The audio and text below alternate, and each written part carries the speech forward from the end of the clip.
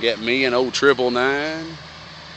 Old triple nine out there putting that old vertical ground plane up with this 1883 tree. We got it up there okay.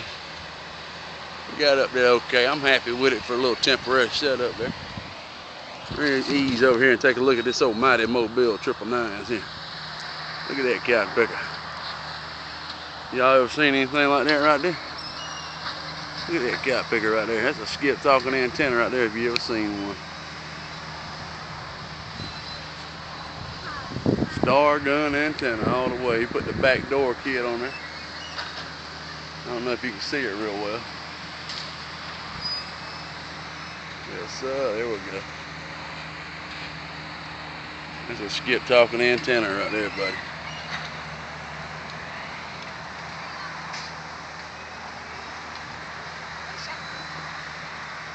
Jackson, come over here. Come over here. Hey, Jackson, come over here, buddy.